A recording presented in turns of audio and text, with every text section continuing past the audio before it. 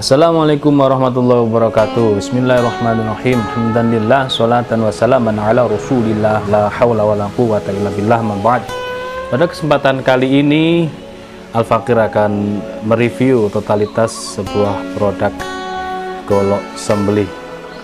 Oke seperti ini bentuknya. Full kayu ya. Dari bentuknya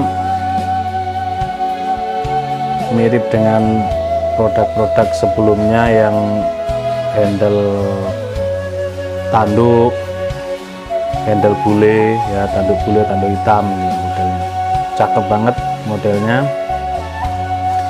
Serangka menggunakan material kayu johar coklat. Sedangkan handle simiut dan sopal atas menggunakan kayu johar cok, uh, hitam ya coklat kehitaman ini. Hitam coklat kehitaman. Seperti ini. Dural dan ring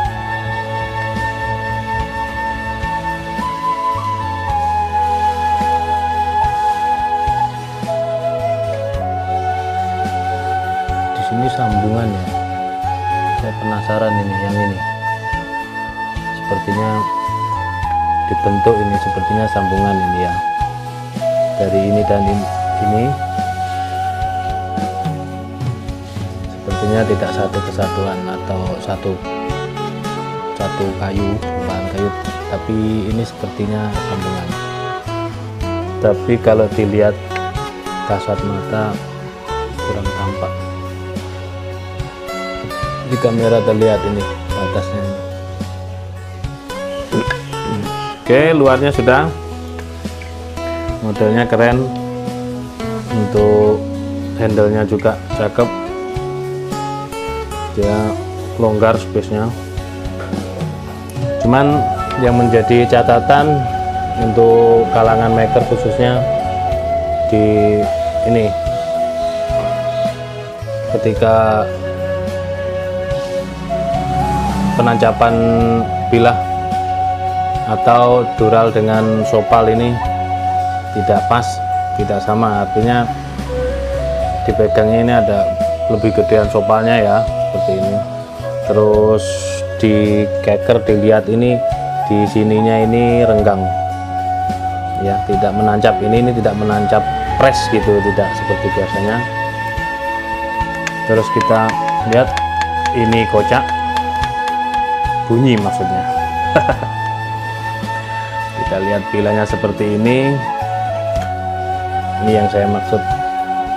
Penanjapan handle juga perlu diperhatikan untuk kalangan maker. Ini harusnya ini nancap persis jadi seperti ini nantinya jadinya. Tidak ada space tidak ada rongga. Kalau ini kan ada rongga ini. Kita carikan sesuatu ya. Kelihatan mungkin di situ jelas kelihatan di kamera ini. Ah ya itu. Kelihatan. Ini yang saya maksudkan. Ini harusnya enggak enggak seperti ini. Harusnya menancap dalam. Mohon maaf bukan niat menggurui tapi sebagai koreksi saja ini harusnya tidak ada. Harusnya ini menancap. Jadi ekor bila harus menancap dalam sehingga nantinya terlihat seperti ini jadi rapat keliling rapat. Oke. Selanjutnya yang menjadi catatan lagi ketika pembentukan Picasso. Nah ini kan dibuat seni ya dibuat seni banget untuk bilahnya. Seninya di mana ini? Dari Picasso ini tidak ke atas atau tidak meges seperti ini melainkan dia belok ke sini ke bilahnya. Seret ke sini. Menuju ujung bilah. Begitu juga sebaliknya tapi ketika kita raba terasa banget hasil tempaan jadi cara menggerindanya ini kurang kurang rapih. Di gini kan diraba ini terasa banget gelombangnya. Yang penting bukan gelombang tsunami aja. Selanjutnya ketika kita benar-benar keker gini terlihat kurang center ya ini maklum karena ini tempa manual ya bukan tempa mesin yang bisa menghasilkan produk yang sangat presisi dan rapi. Ini tempa manual tradisional banget ini seperti ini. Menurut saya cakep. Cakep karena ada kreasi baru pembentukan Ricasso dia tidak setengah atau tidak pol atau tidak meges atau tidak lurus atau meges ke samping sini ke dalam. Tapi dia dibelokkan ke sini. Cuman bagi permasalahan baru bagi pemula tentunya untuk mengasah. Nah ini nanti kita coba kapan-kapan kita buat tutorial mengasah menggunakan kertas gosok atau amplas ya. Biar gampang. Kalau seperti ini kalau masih pemula insya Allah insya Allah ini pemirsa yang melihat pinter ngasah semua lah Nah, karena ini ada gendutnya di bagian separuh ke atas, maka harus diperhatikan atau mungkin ditutup eh, solasi kertas mungkin separuh sini, ya separuh sini seret mulai rekaso sampai sini ditutup kertas baru jalan ngasahnya. It's okay semuanya oke. Okay. Mungkin PR-nya di sini ya kurang menancap gitu artinya bukan ini longgar enggak saya nggak membicarakan masalah longgarnya. Cuman penancapannya kurang kurang menancap gitu ya. Kurang kurang dalam. Harusnya tertutup gini. Ini kuat sekali tentunya. Karena ini dari kayu yang keras kayunya keras. Bentuknya seperti ini. Panjang bilahnya kita ukur dulu. Lupa saya. Set panjang bilah 30,5 tiga setengah. Lebar di pangkal 3 cm tengah ya tiga setengah. Terlebar 3,7 memiliki ketebalan 3 mili. Set. 3 mili. Material baja yang digunakan adalah baja per lawas. Kita coba performanya. Kalau performa saya akui ini tajamnya ajib banget tajamnya sudah layak pakai. Karena ini saya perhatikan di mata bilahnya ini dia sudah turun di batu asah. Sepertinya ini sudah diasah dengan batu. Untuk ketajamannya halus banget. Tajamnya ajib dari pangkal ke ujung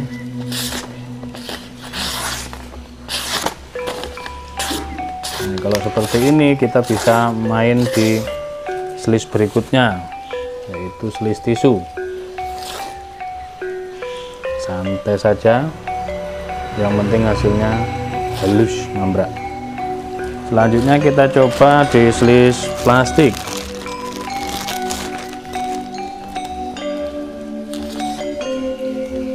Tetap halus hasilnya Oke. Kita naikkan di slis kresek.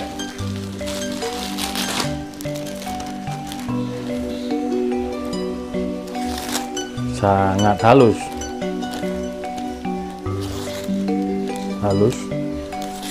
Mantap. Mambrak. Jeblos. Halus banget. Mambrak banget oke. Oke. Sekali lagi.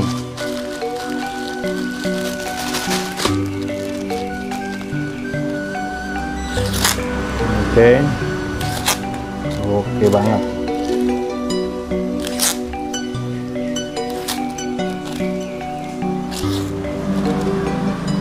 sangat tajam. Ini kalau untuk sembelih cocoknya gaya tarik. Meskipun ini untuk dorong juga oke karena punggung bilahnya tebal tapi handle-nya seperti ini saya lebih demen untuk tarik apalagi bentuknya seperti ini bilahnya. Set. mantap banget. Demikian review dari saya tentang golok sembelih berbahan baja per lawas atau per jadul dari per mobil apa? Kita tidak tahu tidak bisa ditelusuri.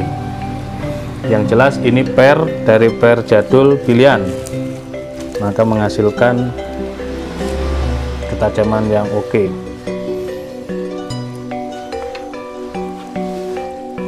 Modelnya sudah sip model luarnya.